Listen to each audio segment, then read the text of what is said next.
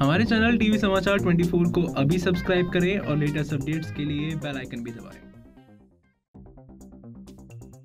Big boss season तेरह को लेकर सेलिब्रिटीज खुलकर अपनी राय रखते रहते हैं। हाल ही में जय भानुशाली बिग बॉस सीज़न तेरह के घर के अंदर गए थे तो वही जय भानुशाली ने अपने ट्विटर हैंडल के ज़रिए एक ट्वीट शेयर किया है।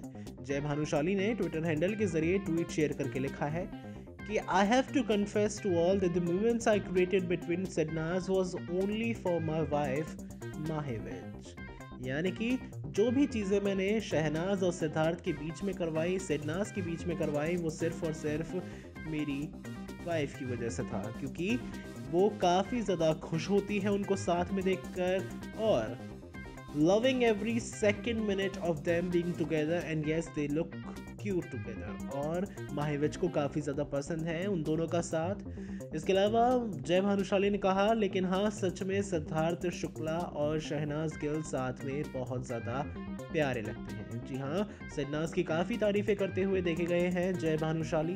तो वही आप क्या कहना चाहेंगे जय भानुशाली के इस ट्वीट पर? हमें नीचे कमेंट सेक्शन के ज़रिए अपनी राय ज़रूर बताइए।